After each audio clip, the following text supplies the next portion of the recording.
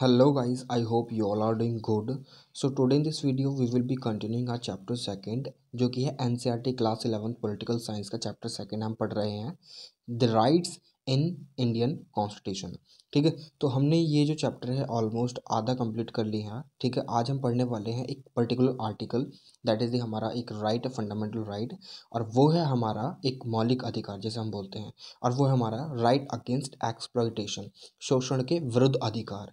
तो उसको आज हम डिटेल में थोड़ा सा पढ़ने वाले हैं, फिर हम अगली वीडियो में जो हमारा नेक्स्ट राइट है right to freedom of religion उसके बारे में पढ़ेंगे। तो ये काफ़ी छोटी वीडियो रहने वाली है तो चलिए चालू करते हैं, बिना समय गवाए वीडियो को। I welcome you all to the channel I'm your friend Arun शामो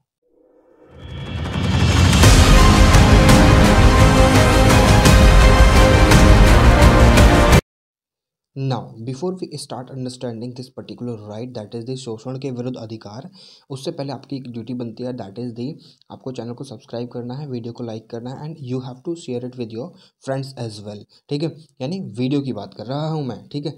चलिए, चालू करते हैं और शोषण के विरुद्ध अधिकार को हम एकदम डिटेल में जाकर पढ़ेंगे। अब देखिए, यहाँ पर ही हम चालू कर देते हैं सबसे पहले। आपको ये तो पता होगा कि हमारी कंट्री में जो ना, कहीं ना कहीं आपको आपने देखा होगा कि वुमेंस थी और बच्चे भी हुआ करते थे एंशियंट काल में भी। ठीक है? वुमेंस के राइट के बारे में, जो मैंस के राइट हैं, वो वुमेंस के राइट भी हैं आज के समय में। ठीक है? मगर आपने देखा होगा कि कहीं ना कहीं जो यू नो वुमेंस के साथ भी उत्पीड़न हुए थे चाहे हम प्राचीन भारत की बात करें, चाहे फिर हम मिडाइवल भारत की बात करें, ठीक है? तो हमने दोनों ही जगह पर, चाहे फिर वो एंशियंट हो या फिर मिडाइवल इंडिया हो और या फिर मॉडर्न इंडिया हो, ठीक है? हमने सारे जगह पर ये दिखाया कि वुमेन के राइट्स के कहीं ना कहीं उल्लंघन होते हैं। एज वेल एज हमने ये भी देखा कि जो बच्चे होते हैं ना, उनके राइट्स का भी उल्लंघन होता है। अब देखिए, जो पहले की सोसाइटीज़ हुआ करती थी, वो वर्ण सिस्टम में बटा, बटी हुई हुआ करती थी, जिसमें सबसे पहले आते थे क्षत्रिया, सॉरी, ब्राह्मण ब्राह्मण्स, ठीक है, ब्राह्मण्स और फिर आते थे क्षत्रियाज, फिर आते थे हमारे वैश्याज और फिर शूद्राज, उसके नीचे आते थे डाउन ट्रोडन्स ना ये तो आपको बात पता ही है ऑलरेडी ठीक है, मगर यहाँ पर एक और चीज़ है जो समझने वाली है, वो ये है कि जो बच्चे हुआ करते थे ना, उनसे पहले भी काम कराया जाता था और जब मिडाइवल एड एज आई ना तो वहाँ पर भी बच्चों को एज ए घरों में स्लेव की तरह से यूज़ करा जाता था। और वुमेन जो हुआ करती थी ना, उनको भी बेचा खरीदा जाया करता था। ठीक है? हमने एंशेंट काल में भी देख ली कि वुमेंस के पास जो है काफ़ी सारे राइट्स नहीं थे। ठीक है? स्पेशली जो जो वुमेंस थी, जो क्षत्रिया, जो क्लान है ना, क्षत्रिय, जो वरण है, उन वहाँ से बिलोंग करती थी, उनके पास ज़्यादा राइट्स नहीं हुआ करते थे। वेरएज जो बच्चे हुआ करते थे, उनके पास भी ज़्यादा राइट्स नहीं हुआ करते थे।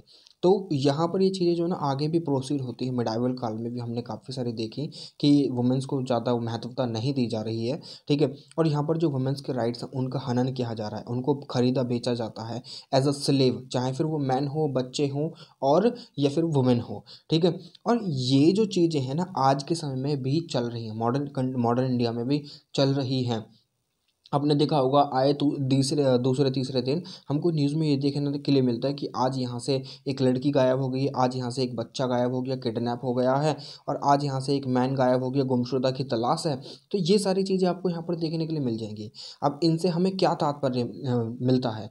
इसका तात्पर्य यही है कि कहीं ना कहीं इन, या ये जो लड़कियाँ गायब होती हैं, यानी जो गर्ल्स जो किडनैप की जाती हैं, उनको एज अ स्लेव बेच दिया जाता है दूसरी बाहर कंट्रियों में, ठीक है? फिर उनको वहाँ पर ले जाकर या तो सेक्सुअली अब्यूज़ करा जाता है, उनको सेक्सुअली शोषण करा जाता है, ठीक है एक्सप्लोइट करा जाता है, या फिर उनको प्रोस्टिट्यूट बना दिया जाता है, ठीक है। प्रोस्टिट्यूट आप वर्ड एक बार सर्च कीजिएगा then you will get to know कि what who is the prostitute ठीक है। Who usually sells his body ठीक है, अपनी बॉडी जो बेचते हैं, ठीक है।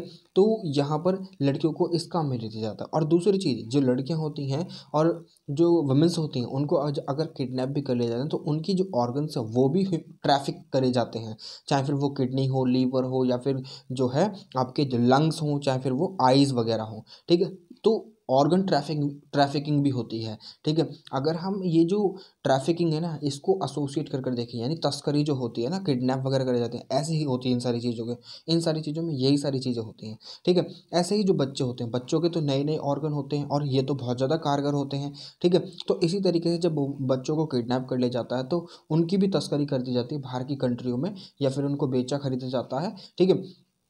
जब ब्रिटिशर्स रूल कर रहे थे ना, तब उस समय पर ये सारी चीज़ें बहुत ज़्यादा चल रही थी, ठीक है? जो अफ्रीकन एक पर्टिकुलर कॉन्टिनेंट आपने नाम सुना होगा कि एक महाद्वीप है, अफ्रीका महाद्वीप, ठीक है? और वो वहाँ से लोगों को ख़रीदा जाता था और वहाँ वहाँ से ले जाकर दूसरे जो जो महाद्वीप हुआ करते थे, वहाँ पर बेच दिया जाता था। किसके द्वारा? यूरोपियन जो हुआ करते थे, उनके द्वारा, ठीक है? चलिए, ये सारी बातें तो आपको पता चल गई। अब यहाँ पर देखिए, जो बच्चे होते हैं, बच्चों को काम में लगाया जाता है और औरतों को भी काम में लगाया जाता है लेडीज़ें जो होती हैं, उनको भी काम में लिया जाता है, ठीक है? उनसे भी काम कराया जाता है। मगर आपने देखा होगा कि उनको जो ना इक्वल अमाउंट ऑफ़ पेमेंट नहीं मिलता है। जैसे जो मेल्स होते हैं ना, उनको मिलता है। जैसे कि अगर मेल की सिक्स थाउज़ेंड रुपीज़ सैलरी है तो वहीं पर उस काम को करने के लिए जो लेडी होती हैं, उनको तीन हज़ार रुपये दिए जाते हैं। यानी बहुत ज़्यादा जो उनका यू नो जो पेमेंट है ना, वो बहुत कम होती है as compare to the man ठीक है? ऐसा क्यों? क्योंकि काम तो दोनों ही सेम कर रहे हैं ना। तो ये सारी चीज़ें भी होती हैं। इसीलिए जो वुमेंस होती हैं, वो काम में ली जा, उनसे काम कराया जाता है। ठीक है? चाहे फिर वो डोमेस्टिक में हो, चाहे फिर वो एक इंडस्ट्री में हो। ठीक है? तो यहाँ पर जो है ना, ये सारी चीज़ें भी सुनिश्चित की गई हमारे कॉन्स्टिट्यूशन में। ऐसे बच्चे जो होते हैं, बच्चे जो है ना, पहले जब ब्रिटिशर्स हुआ करते थे तो वहाँ पर माइंस वगैरह खोदी करती, खुदाई खोदी जाती थी, जैसे कि हमारे जो छोटा नागपुर प्लेटी वगैरह हैं और बुंदेलखंड प्लेटी हो गए, ठीक है? और झारखंड वगैरह जैसे स्टेट है ना, यहाँ पर माइनिंग वगैरह होती है, ठीक है? तो वहाँ पर बच्चों से आसान तरीके से काम लिया जाता था, ठीक है? कि क्योंकि वो जो माइंस होते हैं छोटी छोटी होती हैं और वहाँ पर जो है ना छोटी छोटी जगहों पर बच्चे आसानी से चले जाते हैं। ऐसी मशीन वगैरह जो होती हैं मशीन जो होती हैं, वो बच्चे जो है ना, आसानी से अगर उन्हें सिखा दिया जाए ऑपरेट कर लेते हैं और उनको ज़्यादा पैसे देने भी नहीं पड़ते। तो इसी तरीके से बच्चे और लेडीज़ों का बहुत ज़्यादा काम लिया जाता था इनसे। आपने एक मूवी देखी होगी, के जी एफ़ जिसका नाम होता है कोलर गोल्ड फ़ील्ड कर्नाटका में एक जगह है कोलर गोल्ड फ़ील्ड यो, ये जो है ना, एक जो सोना है ना, सोना, जो गोल्ड होता है, उसकी खदान हुआ करती थी। तो यहाँ पर आपने देखोगे स्लेव आपने देखे होंगे यहाँ पर, जो गुलाम गुलाम थे, ठीक है? तो इसी तरीके से चीज़ें हुआ करती थी पहले। बट आज जब कॉन्स्टिट्यूशन लिखा गया था ना तो ये सारी चीज़ें भी जो है ना, कहीं ना कहीं जो कॉन्स्टिट्यूशन मेकर्स थे, वो अपनी नज़रों के सामने लेकर आए और इनके लिए भी प्रावधान बनाए गए। ठीक है? ये बात आपको समझ में आई? अब चलते हैं आगे। अब यहाँ पर यहाँ पर इस चीज़ को सुनिश्चित करने के लिए किसी की राइट का भी उल्लंघन ना हो। हमारे यहाँ पर, हमारे कॉन्स्टिट्यूशन में आर्टिकल ट्वेंटी थ्री और ट्वेंटी फोर के अंडर दो राइट दिए हुए हैं। That is the right against exploitation ठीक है? कोई आपको एक्सप्लोइट नहीं कर सकता। पहला जो राइट है, वो है prohibition of traffic in human being यानी मानव की तस्करी, ठीक है? मानव की तस्कर तस्करी और फोर्स लेबर, ठीक है? ये इस चीज़ को प्रोहिबिट करता है, यानी बंद करता है, प्रतिबिंब लगाता है इस चीज़ पर, कि कोई भी फोर्स लेबर नहीं होगी, कोई भी ह्यूमन ट्रैफिकिंग नहीं होगी। दूसरी है prohibition of employment of children in hazardous jobs ठीक है? यानी जो बच्चे हैं ना, उनका जो हजार्डियस जो जैसे कंस्ट्रक्शन हो गए माइंस हो गए, ऐसी जगहों पर और जो केमिकल फैक्ट्री हुई यहाँ पर बच्चों का काम करना बंद, लगाया जाता है यहाँ पर इस आर्टिकल ट्वेंटी फोर के अंडर। ये कलर कोडिंग आप याद रखिएगा, ठीक है? अब चलते हैं हम आगे। अगर हम यहाँ पर आपकी बुक के हिसाब से पढ़ें तो देखिए यहाँ पर दे रखा है कि यहाँ पर एक्सप्लोइटेशन कंट्री में ना हो जैसे कि आपने देखोगे काफ़ी सारे जो भिखारी हैं, जिन्हें हम बैगर बोलते हैं, आपको क्या लगता है कि जब भी आप अगर कार वगैरह में ट्रैवल करते हैं फिर बस वगैरह में ट्रैवल करते हैं you will you know encounter आप देखते हैं कि आपका सामना होता है काफ़ी सारे बच्चों से जो कहीं ना कहीं रेड लाइट पर जो बैगिंग कर रहे होते हैं, ठीक है? भीख मांग रहे होते हैं। क्या आपको लगता है कि ये एक तरीके की जो ना तस्करी होते हैं? नैक्सेस होता है पूरा का पूरा जो बैगर्स होते हैं उनका। और इन बच्चों से बैगिंग करवाई जाती है, ठीक है? इनको एक्सप्लोइट करा जाता है। मगर इसके अगेंस्ट कोई एक्शन क्यों नहीं लेता, क्योंकि ये सारी चीज़ें जो है ना ऊपर लेवल तक कनेक्टेड होती हैं। जब आप एक बार सिस्टम में जाएँगे then you will get to know कि वॉट थिंग्स आर ठीक है? तो यहाँ पर यही सारी चीज़ें यहाँ पर हो रही होती हैं। ठीक है, अब ये बात तो आपको यहाँ पर पता चल गई। चलिए, अब ऐसे ही ऐसे ही ये जो लेबर है ना, यहाँ पर फोर्स लेबर जो होते हैं। इसमें क्या होता है कि फोर्स लेबर का मतलब ये है कि यहाँ पर जो आपको रेम्यूनरेशन यानी जो पैसा है ना, वो या तो कम दिया जा रहा है एग्जैक्ट जो दूसरों को मिल रहा है, उससे या फिर आपको पैसा दिया ही नहीं जा रहा, उसको बोलते हैं हम force labour bonded labour bonded labour यानी आपको जैसे कि मानकर चलिए कि आपसे जो ना काम करा जाए, मगर आपको कोई भी पैसा ना दिया जाए। ये चीज़ होगी हमारी बॉन्डेड लेबर की, ठीक है? अगर हम सिंपल भाषा में समझें से बॉन्डेड लेबर को, ठीक है? जैसे कि आपने अगर कोई कर्जा ले लिया, किसी साहूकार से, ठीक है? या किसी एक पर्टिकुलर बंदे ने या फिर किसी एक पर्टिकुलर मैन ने कर्जा ले लिया है, एक साहूकार से, और उसने कहा कि आपको जो है ना, इस कर्जे के बदले आपको हमारे यहाँ पर दस साल नौकरी करनी होगी। तो एक तरीके से ये बॉन्डेड लेबर है, क्योंकि यहाँ पर जो है ना, जो मैन की जो फ्रीडम है ना, वो कहीं ना कहीं हरन हनन हो रहा है उसका, ठीक है? फ्रीडम का हनन हो रहा है, और वो दूसरी जगह पर काम नहीं कर सकता। उसको इस पैसे के बदले बॉन्ड हो जाएगा वो और उसको उस साहूकार के यहाँ पर ही काम करना पड़ेगा। ठीक है? ये बात आपको समझ में आ गई? तो यहाँ पर ये जो एक्सप्लोरेशन होगा, होता है ना ऐसे ही हमारे यहाँ पर जो ना तस्करी भी होती है। तस्करी जो होती है वो आपको दिखती नहीं है, मगर ट्रैफिकिंग होती है ह्यूमन की, ठीक है? मानव की, बच्चों को उठाया जाता है, लेट, लड़कियों को उठाया जाता है, जो यूथ होती हैं लड़कियाँ, जो किशोर अवस्था में चल रही होती है, खासकर उनको उठाया जाता है, ठीक है? और उनको एक दूसरे एक दूसरे से जो कंट्री है ना, वहाँ पर भेज दिया जाता है। उनकी तस्करी होती है buying and selling of the human beings और ऐसा नहीं कि खाली जो लड़कियाँ हैं या फिर बच्चे हैं उन्हीं के साथ होते, नहीं, जो मैन होते हैं ना, उनके साथ भी ये सारी चीज़ें होती हैं। ठीक है? ये बात आपको यहाँ पर पता चल गई तो ये जो आर्टिकल है, ये आर्टिकल ट्वेंटी थ्री है। ठीक है? अब force labour was impose by landlords landlords खासकर ये मैंने आपको एग्जांपल दे दिया है ऑलरेडी आज के समय में जो भट्टे होते हैं ना, वहाँ पर आपको काम करते हुए जो लेबर है ना, मिल जाएगी जो इनको कहीं ना कहीं एक जो बेंच मार्क सेट है ना कंट्री में, यानी एक मिनिमम वेज सेट है जो मिलना चाहिए, वो उसके नीचे काम करते हैं, जो किन क्लीन वर्कर होते हैं, ठीक है? वर्कर्स जो होते हैं, जो भट्टों पर काम करते हैं। तो ये सारी चीज़ें आपको पता चल गई? चलिए, आगे चलें? चलो।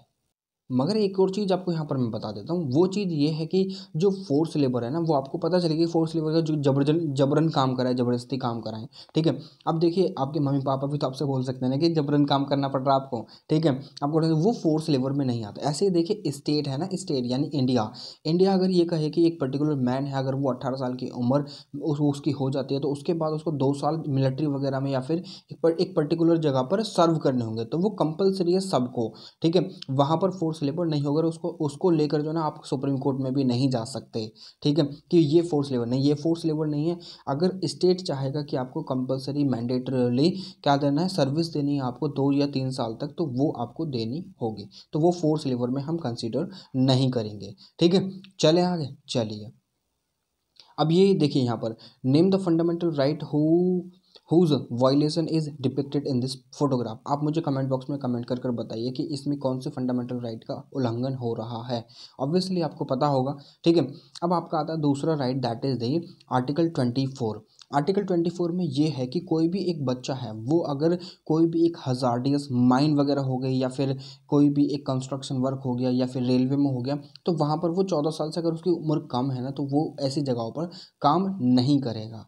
काम बिल्कुल भी नहीं करेगा। मगर पहले क्या हुआ करता था कि अगर कोई भी एक इनोसेंट वर्किंग प्लेस है ना तो वहाँ पर ये बच्चे काम कर सकते थे। बट आगे 2016 में जब अमेंडमेंट लेकर आएगा ना 2016 की बात कर रहा हूँ मैं यहाँ पर, ठीक है? 2016 में जब अमेंडमेंट लेकर आएगा तो यहाँ पर 14 साल से कम उम्र के बच्चों को हर एक जगह पर बैन कर दिया गया कि ये काम करेंगे ही नहीं। और फिर जो है ना, इसी तरीके से इनकी जो एजुकेशन वगैरह को प्रमोट भी करा गया इसीलिए आपने देखा होगा कि हमने लास्ट टाइम जो आर्टिकल पढ़ा था ट्वेंटी ए वो राइट टू एजुकेशन से डील करता है।